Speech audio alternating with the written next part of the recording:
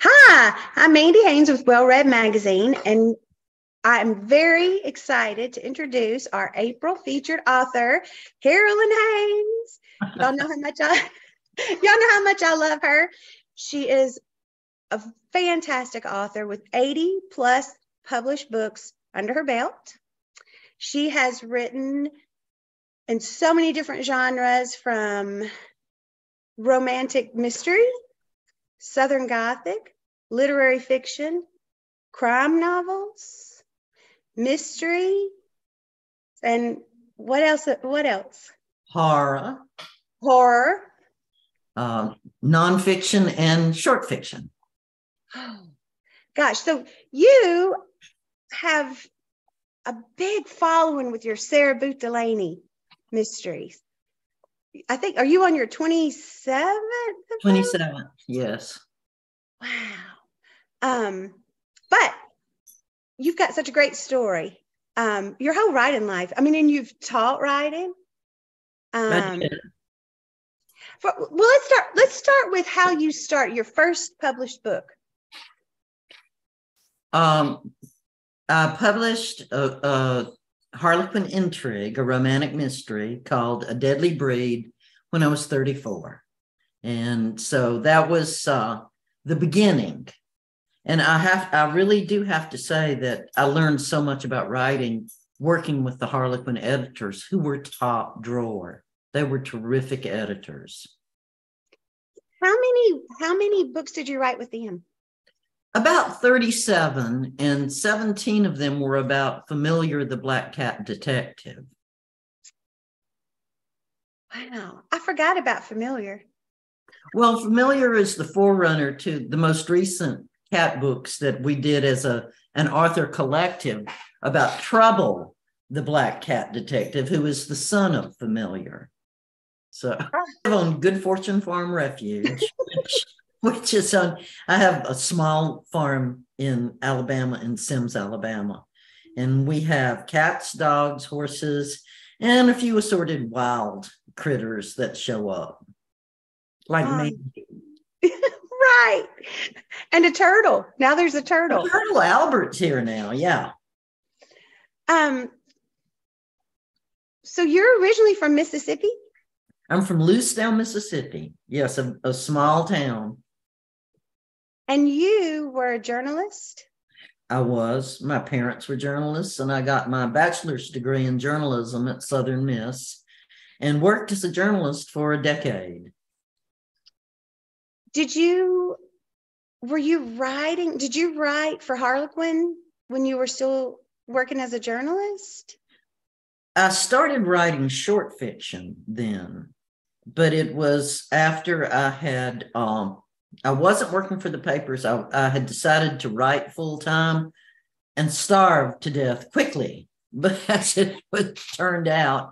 And um, that's when I went to a, a gathering. Some Harlequin editors were in Mobile and they had a luncheon, and aspiring writers could attend.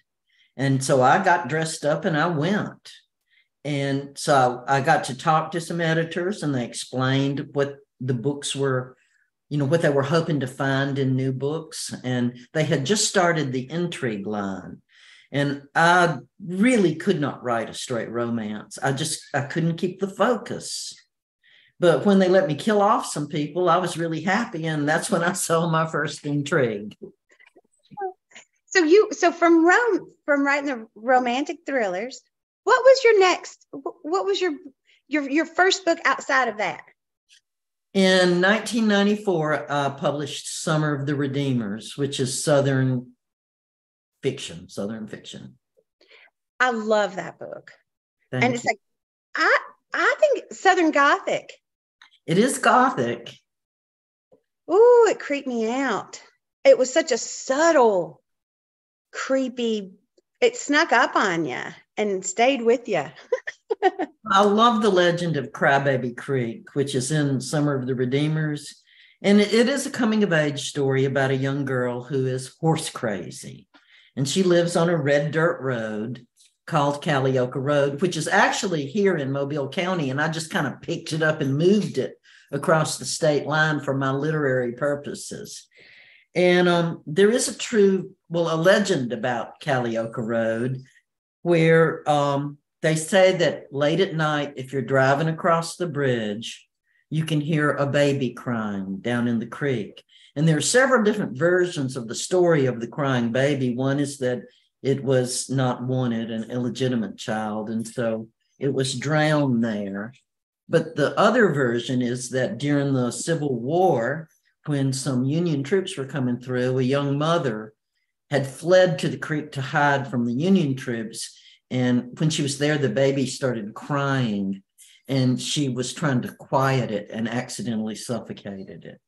Oh. There are several different stories, but one of the funnier ones that involves me is about five years ago, my niece and I decided to go to Kali-Oka Road, Crybaby Creek, and see if we could hear the baby cry. But they had built a new bridge and it was a really steep drop down to the creek. Oh, but we were not going to be deterred. We were going to take our phones and photograph spirits. So we finally get down there, scooting and sliding. And then when we come back, I can't get up the steep cliff. I'm too old. So Jennifer gets under my butt and she's pushing me up, up. And finally, we get close enough to the top that she pushes me up just as the car is coming on the bridge. And they almost wrecked. It was so funny because I guess they thought the ghost of the creek had finally come up for them. So, but it was, we had a good time. We always have a good time. Oh, I've heard a bunch of stories. I know you. I know you always have a good time. And so, so Summer of the Redeemers, and then did you write Touched next? That was the second book on the Dutton contract. And then Judas Crossing. No, like, that came later. came later. Then I did. I started the Sarah books. Okay, so that's what I was going to ask you. So, because you also have the uh, Pluto Snitch mm-hmm. series. Yep. Do you have another series? Trouble the Black Cat Detective. Trouble the Black Cat Detective. And then I've done, you know, some out of like like standalone, like um Fever Moon and Penumbra. Those are those are really crime, darker crime novels. So those are your dark crime, and then your horror. Mm-hmm. Oh, what are those titles? Darkling, the Darkling and the Seeker. I can't even say them without getting chill bumps. I told you that you the one of the Seeker that you gave me. I took it home and and put it when I lived in Florida and put it put it down and I had was coming back to read it. I hadn't even touched it. Nothing had touched it. And the cover curled open. Like it was like somebody had taken it and bent it back. That's so crazy. I'm going to close this door because somebody has a whining, barking dog in my sunroom. I wonder who. Titty baby Mo. Yep. Okay. So let's talk a little bit about your horror writing. Okay. I like to scare people. I really like to scare people. And I've always loved scary shows and movies, and my whole family loves them. We're like, you know, going to see The Exorcist was a family outing. That's really so sad. But um, home from college, and my dad was out of town, and I was reading this book that had really scared me. So my mother's bedroom was next to mine, and I called out to her, Mama, Mama, can I come sleep with you? And she's like, Aren't you in college? You know, I'm like, Yeah, I am, but I'm scared. Come on. And she said, Okay, come on. So I went and dove in the bed, and the moonlight's coming in through the Venetian blinds, and she's laying on her back. She's very still. And I'm like, telling her all about the book. I'm really scared, so I'm talking a whole lot.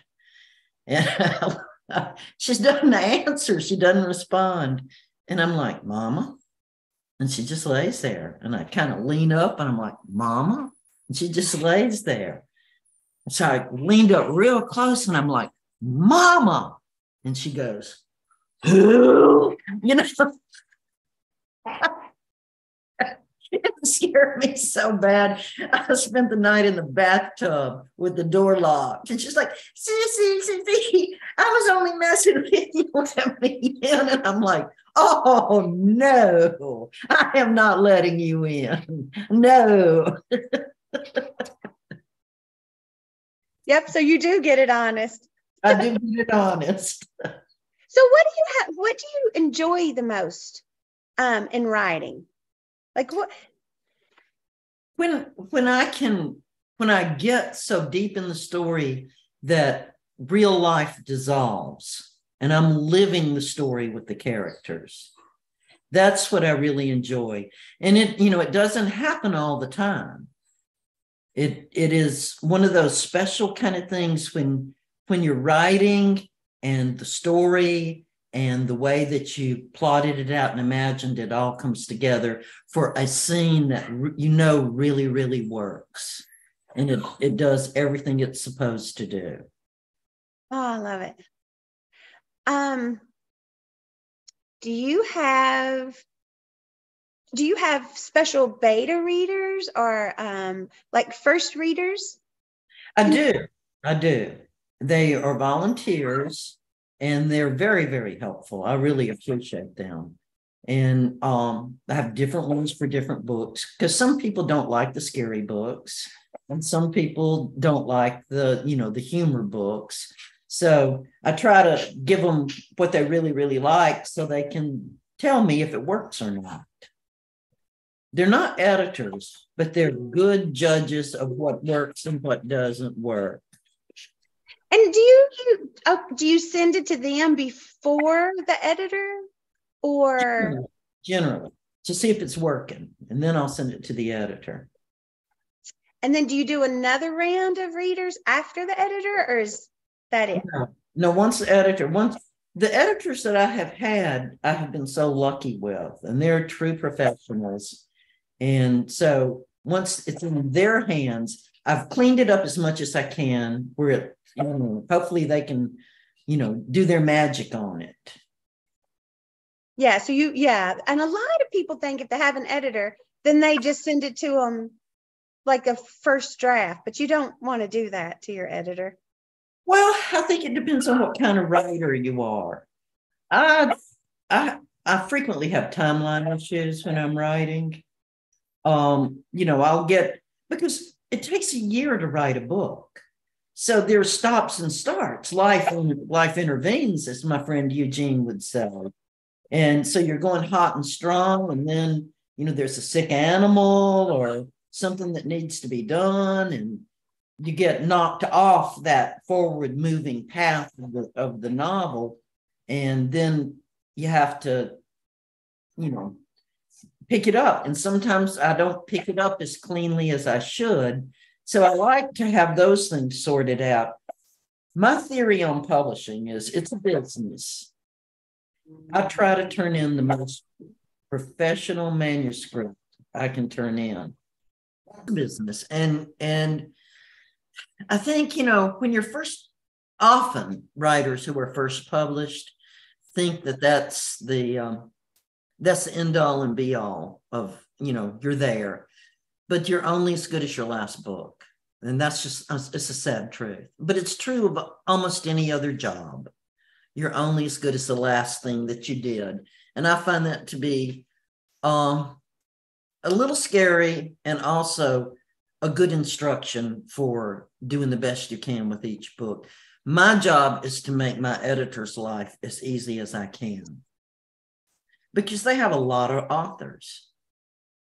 And you know when you're when you do a sloppy job or you i mean now if you get confused and get in a jam they're happy to help you. Don't get me wrong. But just i try to to be the most professional writer i can be.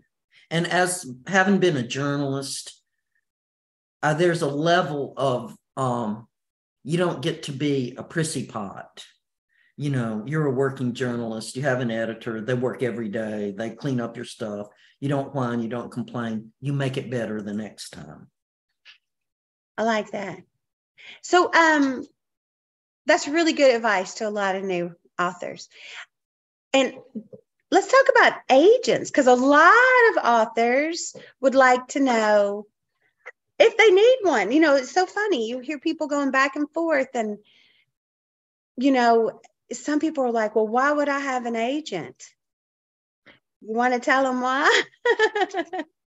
well, I've had the same agent for 30 years, and um, her name is Marian Young. She is a terrific agent and a very ethical professional. Uh, she reads the contracts she understands the language of the contracts and she keeps me out of trouble because you know things sound great to me because i don't know but then she's like mm, you know let me see if i can get a, a better deal on that so she negotiates with the publishers to get me the best deal she can get me it's not just she reads the contracts and says sign them or don't sign them she puts in a whole lot of work and effort trying to get you know, like foreign rights or, you know, audio rights or whatever that we can have that benefit us. Yeah. And it's, it's, I just, I can't imagine signing a contract without an agent going over it. She also sells the books. She has the contacts in the publishing world where she would, you know, she can call up an editor at Dutton or Random House or St. Martin's and say, I have this manuscript. I think you might be really interested in it. I think it fits here. And so she'll find the right person to send it to because the publishing houses are huge. Some of them have many, many imprints. Yeah, that's another. I wanted to ask you. That was another question I had. How many different publishers have you published with? Let's see. Well, first of all, Harlequin, which is a major publisher, um, Dutton, St. Martin's, Random House, Leisure, um, River City, Pegasus. So I've published with with some medium and smaller presses, which I've loved working with and some of the larger ones. And I'm also indie published. I write books for me, just books that I want to write. And so I do get them edited professionally. and I pay someone to put a cover on it because I have no talent at all with graphics or images. So, yeah, I try to be professional there too. Yeah. And I love that that you how, how you publish them both. I know a couple of other authors that do that, and it's really interesting to me because they they like both platforms and they know the pros and cons of both. Um, and they're not choosing either or. They no, like doing. I make a lot more money traditionally published than I do as an indie author. But the thing about the indie author is it truly is a labor of love. There is nothing more thrilling than to get a contract for your first book because it's a blank slate. You know, you you don't have any real lucid expectations. you may have some delusions, but you don't really know what it is. And it's that absolute freedom of just telling your story. There's no expectation of what your story is going to turn out to be. And then you sell the book and then if you have a second book on that contract, then you got to do it again. And that is terrifying. That's a terrifying thing. It is, it is lovely to have a three book contract. It's also terrifying. Oh, yeah, because you have to have, you've got to give them that product by that time. Right. Um, because there's no leeway on that, is it? You need to turn your stuff in on time they have a production, they have books scheduled, and it is not a good thing to to be late or not turn in your book or turn in a, a book that's not publishable. So, yeah, like you said, it's a business. It is yeah. a business. It is an art and a business, and it's it's tough. But but think about musicians or actors or anybody who uh, artists anybody who is producing creative stuff, they have to deal with the reality of the artistic impulse, but it has to it has to work with how to sell, you know. Mm-hmm. Yeah. So when you were a teacher, you had several students that went on to publish with big houses. Mm-hmm. Um, that had to feel really good. It's wonderful. It's wonderful to see a talent thrive. I bet your students loved you. they thought I was fun. and I think they did care. I'm in touch with most of them still because I care about them and I want them to have a wonderful career. And, you know, some of them have had to drop out of writing to hold down a work job or raise a family, but we still talk about writing and they'll get back to it and they're going to do something really great. Um, lots of fan mail for Sarah Booth Delaney from readers. I get a bit. I get a bit and I try to answer each one, you know. And I get I do get some unfan mail. like I said that Sarah Booth was a slut, you know, and that she didn't want to read about her. And thought, well, don't, don't read about it. Strange. Oh. I think she was going through a bad time. Maybe know? her husband had cheated on her with somebody that looked like Sarah Booth in her mind.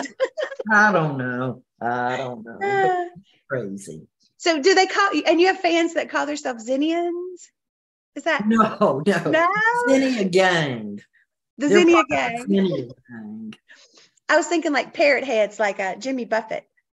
So is it? I guess they would be Boothians. what are you working on now? Are you working on anything new? Um, a Sarah Booth book called Jaws Bones, and it is, and it's a true fact that a bull shark can live in the Mississippi River. So it's about a bull shark that has gotten up to Greenville and they're shooting a movie in Greenville. And there's a lot of stuff going on, but the shark is in the water. and so it's it's I think it's going to be a fun book, and um, it, it's done. Its first draft is done, and then I'll work on it some more. And I'm working on the synopsis for the next Sarah Booth book, which is going to be set at the Elvis Impersonators competition in Tupelo, Mississippi. And it's called Tender Bones. Ah, so do you, do you come up with the titles first or? Like, I, I try to get it at the same time. It helps me focus the book if I have a title. If I don't have a title, I know my book's not focused right. So it helps to have a title. And I'm also working on a collaborative thriller with a dear friend of mine named Mandy Haynes. it's a it's a it's a kind of a different book. It's set in 1970 and it is a thriller. It's southern. It's set in a small southern town and it is uh, I don't want to give it away and I don't want to talk too much about it, but I'm really hoping that it is as much fun for readers as it is as it has been for us to be to write on. So uh we have had a good time. Yeah, we have. And we've got ideas for how many more? for four more. Because we're crazy. we're crazy. But you know, it's fun. I've never done a collaborative book and it this was not anything you or I planned. It just happened, and you know, and instead of like talking it to death or or not doing it, we sat down and started doing it. And so we'll see. We'll see what happens with it. Yeah, I'm excited. No matter what ha- no matter what happens with it, it's oh, whatever happens. We're having a good time. And we got a good story. Yes, we do. It's a killer story. Ha ha, in more ways than one. Um, and I know I'm so lucky. I mean, gosh, to be working with you because you're teaching me a lot. I've never, I haven't finished a novel yet. You know, I write short stories and I've never written a literary thriller. Well, you're a fine writer, and it's just a matter of learning different pacing, different, a, a stretched plot. The plot and the structure are the hardest thing for any writer and so we're learning we're learning how to do this together and so i'm learning too it'll be oh. it's i'm having a good time and i uh, whatever happens we've had a lot of laughs out of it and we've only got one chapter written we have the synopsis. Now that's a booger. The synopsis is a booger. So that is true. That yeah, that synopsis was a that was a that was a lot of work. Um and so you know, I haven't so so some people know that I've moved out here. yeah, Good Fortune Farm Refuge. So we're neighbors. you're a simian now. And so me and my three dogs and turtle, we're still that my house is for sale in Florida. So we're not, we don't have all of our stuff yet. So it's a little, a little crazy, but the dogs love it. Um, and the cats are tolerating them. they're my dogs are not, they're learning. well, they're terriers, better known as terrorists. So, and that is true. They are terriers, and and they're they haven't been around a lot of cats, but they they're doing good with the horses, and so far good with the cats. Yeah. So we'll make it. So earlier you mentioned your good friend Eugene, um, who was a great writer, but he was also there's a painting behind you. yeah, The mother-in-law. Eugene was very involved in theater, translations. He worked with Fellini and was in some of his films. He's, he just, he did everything. And he was Mobile native and he had moved back to Mobile. And his claim to fame, he said, was that he had never worn a pair of blue jeans and he never learned to drive a car. So he would call me and various friends to haul the carcass if he wanted to go somewhere, if he wanted to go to lunch or whatever he wanted, go to the liquor store, he'd call us to carry him. And Oh. it was just so much fun. He um he he had a he had a different life.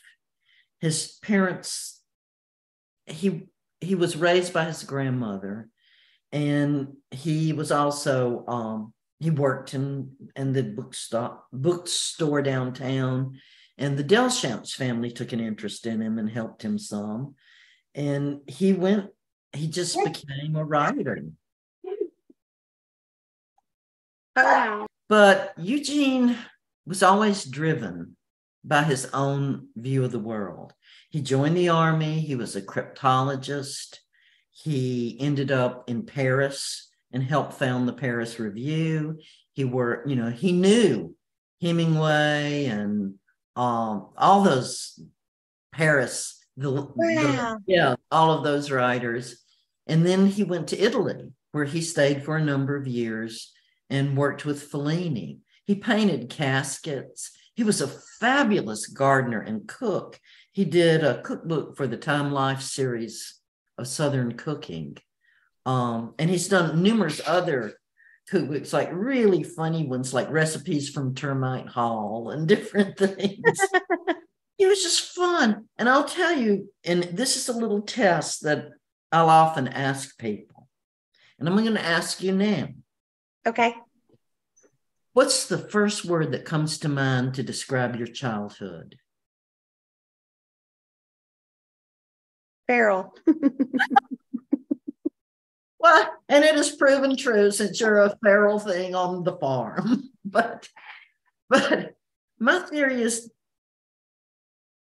that one word kind of sums up the emotional circle of your life and how we create sometimes what we feel.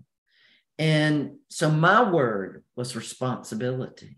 That's the first thing I thought of. And I've I have always had a lot of responsibility. And now you know, I have all these animals and thank goodness some help, but um I'm a very responsible person. I take things too seriously sometimes.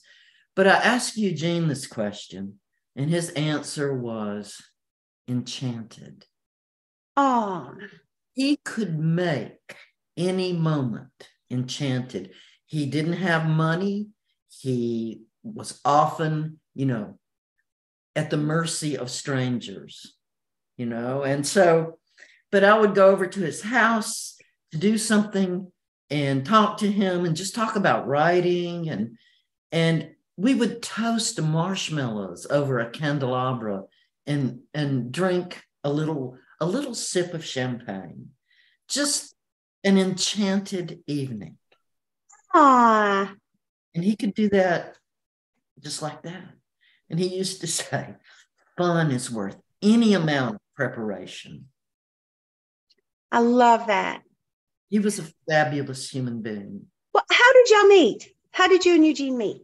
We met at a party on Old Bayfront Road, and he was a guest. And he showed up at the door with a box full of hot dogs from the Dewdrop Inn that he had brought as his contribution to the party. And he was just such a great storyteller and character. And Lord, you would take him into a restaurant. he he hated pepper shakers. He refused to allow them to stay on the table if he was he was a gourmet cook. He grew his own herbs. He hated that. And he would bark like a dog in the restaurant and demand that they take the pepper off the table and bring a pepper mill. It had to be ground pepper. He had very few rigid standards, but that pepper was one of them. I love that. Okay, so the same person who was a gourmet chef, cook, who that brought a box of hot dogs from the Dewdrop into a party. I love it. The Dewdrop hot dogs are world famous. They are. They're the best hot oh. dogs anywhere. I don't eat hot dogs, but according to hot dog eaters. Ah, where is is Dewdrop Inn still around? Here in Mobile. We'll t- I'll take you to lunch one day. Because I I do eat hot dogs. well, you can test them. We can have a taste test. and it was oh. never a party unless there was chicken salad. Well, you make good chicken salad. Gosh, okay. By Eugene. Aw. Oh, and so that's right. When you so you just you were you didn't MC, but you did you an, announce the I was the at the most recent Alabama Writers Forum, Alabama Writers Hall of Fame in Tuscaloosa. I was uh, I won. I was honored, I should say, uh, three years ago, and then they haven't had it since COVID. And Eugene was posthumously uh, installed into the Hall of Fame this past this year, and I was the MC for the ceremony. So the MC for the ceremony, and you rode with friends that knew Eugene. Oh yeah, and, and y'all and they made chicken salad, chicken salad, and pimento cheese sandwiches, two staples of Southern parties. Ah, I love it. Gosh, you've got so many good stories. I was going to try to stick to writing story, you know, because so many, you know, readers love them and so many writers love them. And if we start talking about all your fun stories, we'll be on here for way too long. You got to feed the horses. eventually, eventually, or they'll come in the house, I'm afraid. yeah, yesterday we were repairing gates we did. We're doing farm work yesterday. It was fun. Mandy's um, drill that really works. I'm thrilled because I'm not I'm not very good with with tools. So I'm I'm the heavy lifter. Mandy's the precision person. Thank you, Carolyn, for for being the featured author for April. And gosh, we covered a lot, but y'all, we had to stop between in between with dogs barking, which you won't know because it'll be edited out. But I don't know what I've asked Carolyn and what I wanted to ask her uh, with all the crazy interruptions. But um, we'll have her back because we've got lots of other things to talk about. So thanks, Carolyn, thanks. for everything. Bye bye, everybody.